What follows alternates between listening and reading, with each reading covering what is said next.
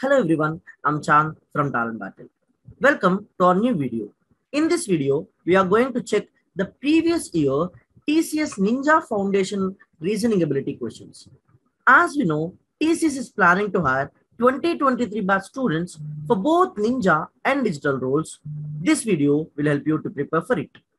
Also, we have started our live training for TCS integrated test pattern, which is also known as ITP, in which we will cover previous year questions of foundation section of numerical, verbal, and reasoning ability, and also the advanced section, which contains quantitative, reasoning ability, and the coding part. Also, join our social media handles like Telegram group, Instagram page, and WhatsApp group. We constantly update placement preparation updates and off-campus updates on our pages.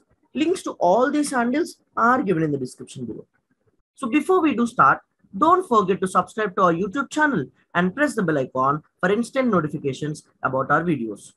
Join TCS Masterclass for structured preparation. Coupon code and link are in the description section. So before I do start, just try to solve the question when I displayed it and then resume the video and you can check with the answer so that you can just check whether you are able to answer on your own or not. So without much further ado, let's get started with the very first question. Okay, if you observe the question, it's from a coding and decoding topic. Right. So let's first of all read the question. Find the wrong term in the letter cluster series given below. And we do have a four letter clusters. So cluster is a group of uh, alphabets. We can say that. So where we have to find the odd one out basically, correct. So, but where many of the students go with a very wrong solution called finding the number of alphabets in between D and R, R and T, and T and O, and so on. But this will definitely take some time. So thereby we need a very easy solution to do it. And what is the easiest solution? To just go with the numbers. Look, coding and decoding can be easily answered with numbers rather than alphabets because getting the difference of the numbers is very easy than counting how many alphabets are there in between for each and every pair. So this is the best process. Now I'll deal with that. So what are these place values? I'll talk about the place values. Right. So basically, how many alphabets are there in English? Exactly 26. What are they? A to Z. So totally 26 alphabets. So how you are saying 26 alphabets? Because you do count. So that says A's place value is 1 since A is the very first alphabet. Similarly, Z's place value is 26 because Z is at the 26th place. Similarly, in between, there are so many alphabets. So those also have, will have place hmm. values. If I ask you what is the place value of C, what is it? C is in the third place. So place value of C is 3. But it's not very difficult to remember the place values of A to Z as you are thinking. I'll tell you some tricks to remember at least for given words or given alphabets. All right. So that I, you'll make sure you're learning this and you're remembering this. All right. So let's start with the very first word D R T O. Now, so what is D? Everybody knows that A, B, C, D, D's place value as 4. Now, what about R? R, you can remember it as right to vote. Now, basically, when you'll get your right to vote at the age of 18 years, so R's place value is 18. I hope you all understood the logic, my dears. Right? Now, the next alphabet is T. How to remember T? Now, very simple. You all know one famous format, T20 cricket. And that says T is 20. So T20 cricket, so T is 20. Now, whereas O, O we have a different logic. What is that? I'll tell you a name. You're going to remember it. Now, do not worry about the spelling. It is just a name. So take it as it is. E Jyoti. You remember it as one of your friends, E Jyoti. So where E Jyoti are the multiples of 5. E is the first place. So first multiple of 5 is nothing but 5. Now J is at the second place. So 2 5s are 10. Similarly, 3 5s are 15. 4 5s are 20. 5 5s are 25. Whereas T20 already we know, but still you can remember as a name. E Jyoti. O is at the third place. So third multiple of 5 is nothing but 15. So O is 15 guys. I hope you all thoroughly enjoyed these uh, shortcuts from now on. Now, similarly, let us learn from the next. J, X, Z, U. Now, J, already you know, E, Jyoti, J is at the second place. So, second multiple of 5 is 10. Now, whereas X, X, Y, Z, the last three alphabets. All right. So, X is nothing but 24 because YZ are 25, 26. Now, Z, everybody knows that it is a 26. Now, whereas U, you can remember it in this way. For example, now I'm going to write something. You tell me what it is looking like. Now, everybody, I hope you have got it. So this alphabet is also looking like a number. What is it? Exactly what you're thinking is correct. It's like 20 and then 1. But it is also at the same time, it's like small u, right? So it's like 21. So that says u is nothing but 21, my dears. So this is how you can just remember the alphabets. Now, whereas the next M, A, O, X. Now, M, how to remember M? All right, I'll, I'll be writing over here. Now, M is nothing but the middle number, M for middle. So what is the half of the numbers we have in 26? Exactly, that is 13. All right, so you can remember in this way. M for middle, middle number or half the number is nothing but 13. All right, now next A. A, everybody knows that is the very first alphabet. O, already we have seen E Jyoti, third multiple of 5 is 15. X is the 24th number, right? And then Z, U, W, R. G, how to remember G? It's very easy. You have 7 inside G, right? A 7. So that says very clearly G is nothing but 7. Now, whereas you already we have learned the strategy that is 21. W, W, X, Y, Z. So the 23rd alphabet. Right, everybody? I hope you are getting the points, dear. Right? And whereas W also looks like 3, 3 in the last is 13, dear. 23. I'm sorry. Right? Whereas M3, it also looks like 3, but 3 in the middle is nothing but 13. Whereas W also looks like 3. 3 at the last is 23. No, we have only 26. So that says 3 in the last will be only 23. Now R right to vote. Now everybody, I hope you have at least learned some 10 alphabets over here. So there are some other strategies for some other for remaining alphabets where if possible we learn in the other right? I hope you have thoroughly enjoyed all these shortcuts. So try to remember these logics and try to remember the place values very easily. Now let us find the logic. Look, rather than counting how many alphabets like E, F, G, H, I, J, K, L, M, N, O, P, Q. Look, this is a very hectic task if I'm not wrong. We have tried for every alphabets, right? So this is what I'm not going to do. So now if you observe, the difference between 4 and 18 is plus 14 right? From 4, I have to add plus 14 to get 18. Similarly, from 18 to 20, how can I reach plus 2? Exactly. Whereas from 20 to 15, it is very simple, minus 5. Now look how simply we have done rather than counting all the alphabets. And we have to do for the same for R and T, the same for T and O. So that will be very difficult, but numbers is very, very, very, very simple right? Now so the same logic should be followed in the others or else maybe this might be wrong and others might have common. So let us check. 10 to 24 again plus 14 24 to 26 again plus 2 and 26 to 21 it's minus 5 so my above logic is the correct logic. So what should be the logic? The logic should be plus 14 plus 2 and minus 5 right? So if any of the cluster is not following this logic that would be my odd out. Now let us go with this 13 for uh, like to one. If I'm not wrong, it's uh no, this is not following the logic. If I'm not wrong, right, everybody? M A O X. No, it's not following because 13 plus 14 would give me 27. Okay, got it. Everybody, I hope you do understand it. Look, if you think that is not following, you are wrong. 13 plus 14 is how much? 27. What will be the 27th alphabet? For example, A, B, C, and so on up to Z. If A is 1, Z is 26, the next alphabet will be 27, right? Similarly, B will be 28 also, right? So just subtract minus 26, you'll get the same one. I hope you all understood the logic, my dears, over here. So it's a very good number if I'm not wrong. 13 plus 14 is 27, where 27 can be A again, right? I hope you understood the logic. So that says this is following the logic. Now, whereas uh, 1 to 15, right? But is it following the logic? No, it is not following the logic. So here it says it is not following. So plus 2 it should be, but is not following. Even if I take 27, 27 plus 2, 29. 29 means 29 minus 26. That gives me 3. 3 means C it should be. But it is O. So definitely this is not following the logic. So I'll just round it up. Now, whereas let me just check the last one also. 7 to 21, it's plus 14. 21 to 23, it's plus 2. And 23 to 18, it's minus 5. So yes, it is falling. Second one is falling. First one is falling. Whereas the third one, uh, the that is MAOX is not falling. That says option C is my answer. Is that clear, everybody? I hope this is a very good explanation that made sure you're getting even the logics to remember and also how to identify such ordinal terms. That everybody? Now let's move on to the next one okay here if i'm not wrong this is question from data sufficiency topic, right? Whereas we need to find just the, whether the given data is sufficient to answer or not. I hope you'd have been through this process. If not, I'll explain. Now, let us look at the question. Given below is a question uh, followed by two statements, one and two, each containing some information. Decide which of the statement is or are to sufficient the answer. All right. Now, the given question is the ratio of fees of two different schools is 2 is to 2.5. All right. What would be the fee of the schools? Okay, both the schools. If discount of 25 percentage and 35 percentage are given on both the schools respectively. All right. Now, I have some information. Let me write that first of all, because the question information is very, very much important.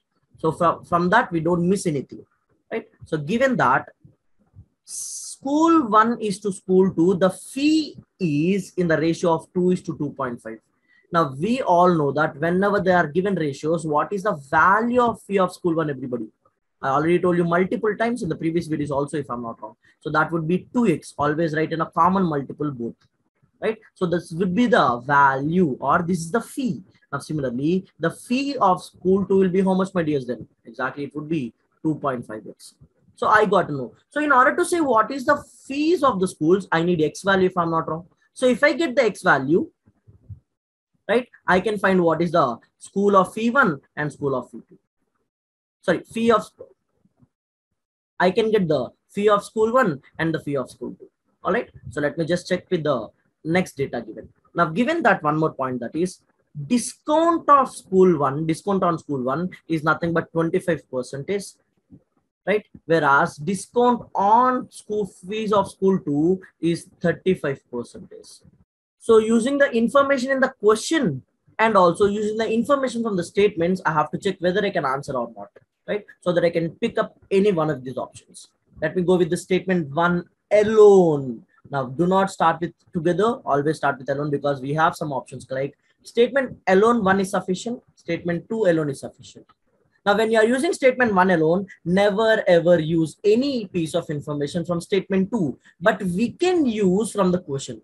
Use data from question, right? So this is the question part, but not from the statement two right? Now, given what is the U uh, data in the statement one alone, discount on the second school fees is 8750.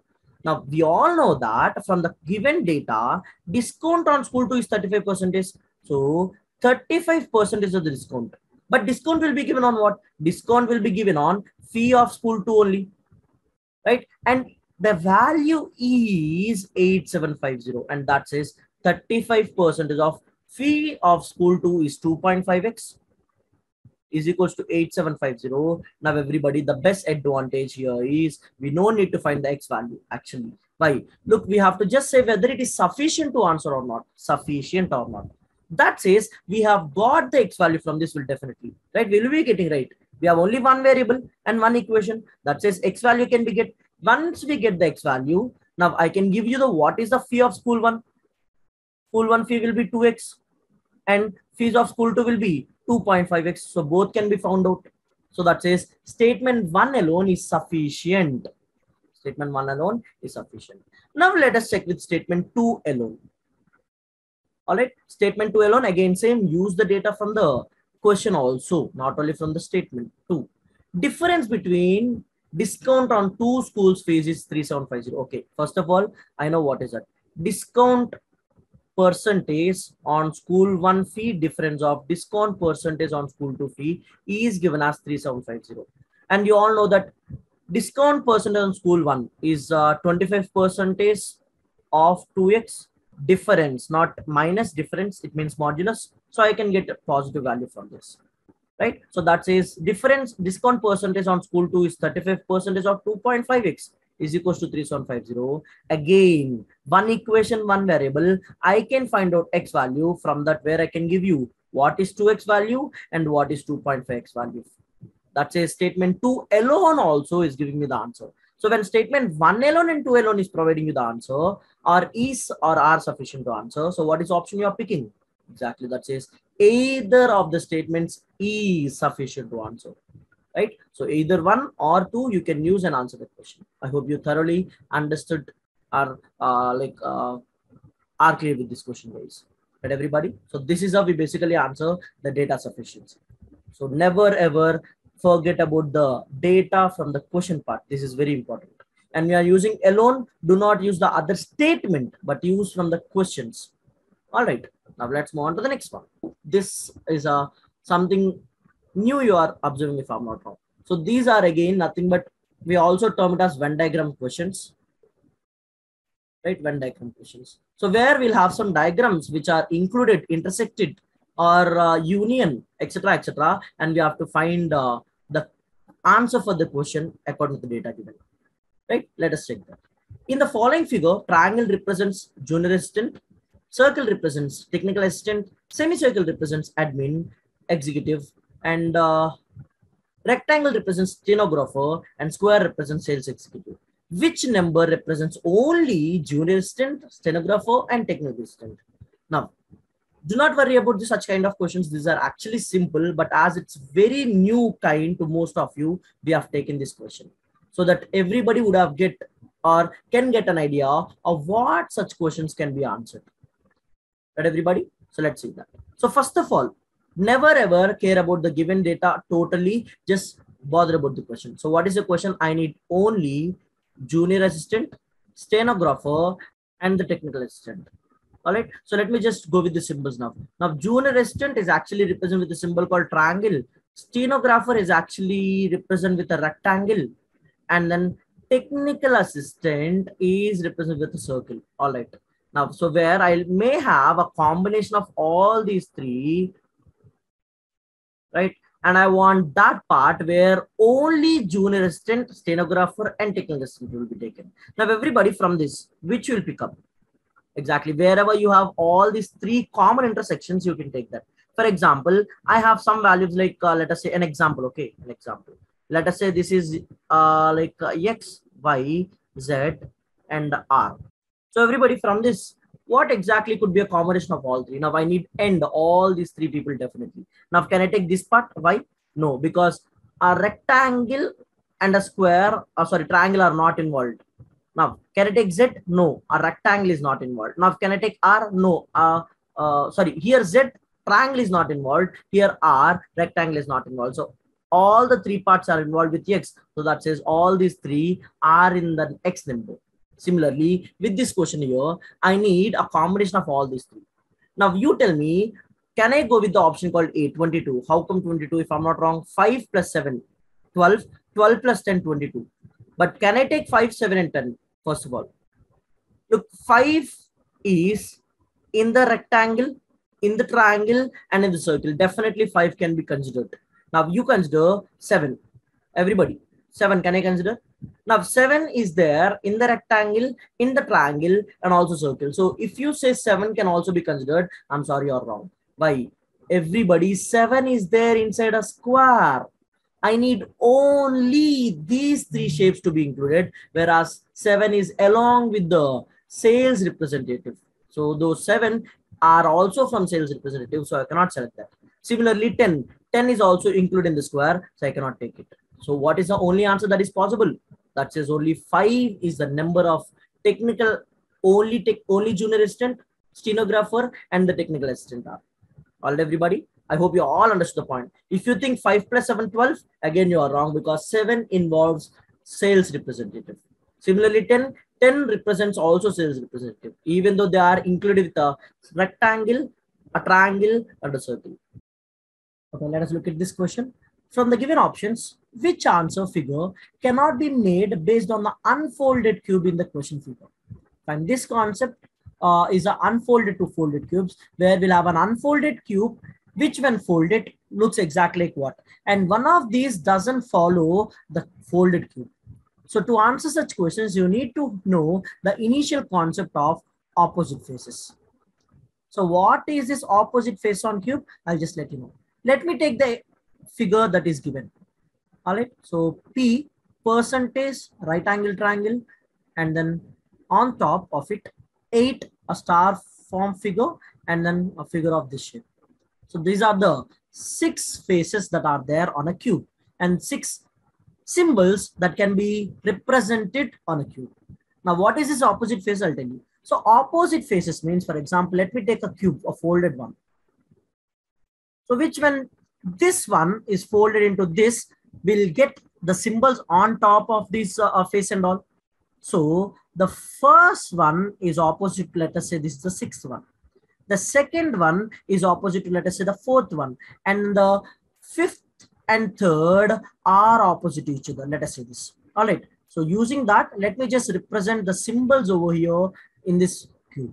Now, first of all, acid opposite faces. So how can we fix the opposite faces? Through the concept of alternate symbols. Opposite faces are always the alternate symbols. So what is this alternate symbol? For example, what is the alternate symbol for P? The alternate symbol for P is the right angle triangle.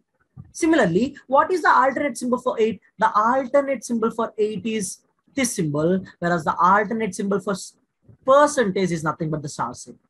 So that says everybody. So we have got two opposite faces such of three pairs, right? So let me start with one. For example, let us take one thing. So let me take 8 as a topmost face right? If i take 8 as a topmost face if i'm not wrong so what would be the opposite to it? If i'm not wrong the opposite to it should be this one figure.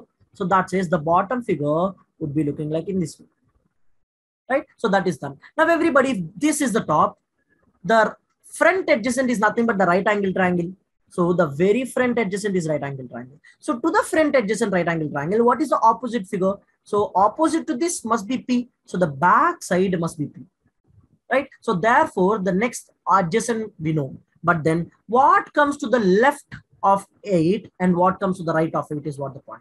Now, if you observe, this will be folded when back side, right? So the star will be folded on the on the right side of 8 right? Similarly, the percentage would be folded on this way. So that says percentage will be over here. And then the star-like symbol will be over here. Right, everybody? Now, so as we got to know, this is the perfect cube with the symbols and the representations. But the point is here we need some unknown faces to be identified.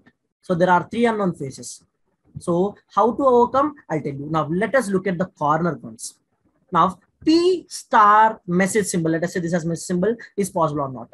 P star and then message, yes, it is possible, right? So let us say P is here, star is here, and message is over here at the bottom. So that says definitely this corner can be option one. Right, everybody? So option one is possible. Similarly, P star 8. Now, if you do observe, percent is over here. Sorry, star, right? Yeah. So P star 8 is on what corner, everybody? Is on the top corner, I can say that. So this is option 2 if I'm not wrong. Right, everybody? People have you all got it? So option 2 is also possible. Now let us go with option 3. Message, percentage and star. Message percentage is fine, but what about the star? Star is somewhere opposite to the faces now. So either star or message can be there or percentage message can be there, but this is never possible because these three are not adjacent faces to each other. All right. So now everybody, so that should be my answer, which cannot be based, right? Which cannot be made. Now going at the option four, let us confirm. Right angle, message and percentage. Right angle, message and percentage. So this is nothing but my option four. So that says this is also possible. So only C cannot be based based on the above given unfolded cube. Right, everybody? So that should my odd man out. And that's where it says C must be the correct option, everybody. Let's move on to the next question. Okay, so this is a coded blood relation question. Now, where if you observe it very properly, the first one is second one's dash. But if you observe the third statement, the second one is first one's dash. So wherever such statements are there, the reverse ones, these are to be very careful statements. So whenever such questions are asked, so how to answer the questions is what we are going to explain. Now, if you observe very clearly, I need what is f at the rate of r, percentage i, slash e percentage n. And as said, the reverse statements might be problematic at times. So you need to be very careful. You can go through step by step. All right, R percentage I, I slash E and E percentage N. So you can represent one by one and then you can just go through the blood relations and all. Now, so please remember male will always be present with a box. Female will always be represented with a circle couple will always be with a double-headed arrow and siblings will always be represented with the equals to siblings means brothers or sisters brother or sisters. Now, and then the next generation will be represented with a downward arrow. All right. Now, if we observe f at the rate r, at the rate means straight only, like first person is. So, f is r's daughter. So, when f is r's daughter, if I'm not wrong, f should be the daughter of r. All right. Now, do you know any information as of r enough? No. So, r gender is unknown as of now. So, just kept like that. R percentage I percentage is at the second. So second means also the same is just right one. First person is second person. So R is wife of K. So when R is the wife, she should be female. So when R is the wife of K, K must be what everybody? K must definitely be a male. Right? So that is directly said. Right? Because if R is wife, K must be definitely be a husband. All right. Now moving on to the next one. I sorry here it is i right okay so it should not be k actually it should be i just a small mistake neglect that so here r percentage i so r is wife of i so i must be the male now when that says i slash e slash talks about the second person is first persons so e is i's mother it should be e is i's mother so when e is i's mother now given E percentage N percentage means wife. So E is wife of N. But everybody that says E must be the wife of N and N must be a male. I hope you all understood the points, my dear. So this is the family tree that we can draw. All right. So just giving you a final information one last time. F is the daughter of R. R is the wife of I and I is a male as since R is a female. That says I's mother is E and E's husband is N. Right. So this is what the family tree. Now the question is how R is related to N. Now this is one such typical question again. You might give R relation and also N's relation. As in sometimes some people will answer according to R. Some people will answer according to N. So if you observe the question, the question is R, how is R related to N? So you have to answer as in R is N's, R is N's son's hmm. wife. So son's wife means what is the only possibility? That is nothing but the daughter-in-law. But everybody, daughter-in-law. So sometimes you might you might answer father-in-law because N is the father-in-law of R, but the question is not with respect to N. The question is with respect to R. So R is N's son's wife, son's wife. So that says answer must be daughter-in-law. Yes. I hope you clearly got it and be very careful when there are reverse statements. So always follow the strategy, write each and everything and go step by step. So if there are straightforward, right, you can go directly with that. But whenever they are reverse, kindly do it in this way. All right, everybody. So this question is basically from a paper folded and cuts, right? So here we have a paper which is in the form of a square. then fold it one, two, three, four times and then punched holes, so when unfolded, how does it look like? So how to answer such questions? We'll go basically in a reverse strategy. What is that? Now, if you observe very properly, there is a, a diamond symbol or rhombus symbol and on top and on bottom, we have a punch. We have a holes. Now what should be there? It should be opened, right? It should be open on both ends. Now when it open on both ends, if I'm not wrong, it looks exactly like this way if I'm not wrong, right? This one to the reverse one, right? And now when when a hole is made from here, we will get a hole onto the top of it because it is unfolded. So since it's a fold, it should be unfolded and we'll have on top also one punch, right? The reflection punch, we can say that. Similarly, to this, we'll have a punch over here. Right, everybody? Now, so from this, we have to unfold again in this manner. All right, in this manner. So that says everybody, I should get a kind of this figure if I'm not wrong when got everybody actually i need to have two over here and two over here now when unfolded if i'm not wrong first of all i'll be getting somewhere over here two more symbols like this at this point and this at this point all right because these are again the kind of reflection punches we can get it. And then when this is completely unfolded everybody and uh, yeah we forgot one more point. When this is unfolded right in this manner we will get wing punches over here also. So that says these are the two holes we have right? And then when totally unfolded my dears if i'm not wrong we would be getting a such an image of right? These two and these two are the opposite when unfolded. And this reflection will be happening at this point. So that says we will get an image of such and such option is option A if I'm not wrong. Right, everybody? So these are uh, uh, visual reasoning questions. So you need to be very careful when answering such questions, my dears. Right? So that says option A is the only possibility for this question. All right, everybody? So that's all for this video. Thank you for watching this video till the end. If you have liked the video, don't forget to press the like button. Also, join our social media handles like Telegram group, Instagram page, and WhatsApp groups. Links to all these handles are given in the description below.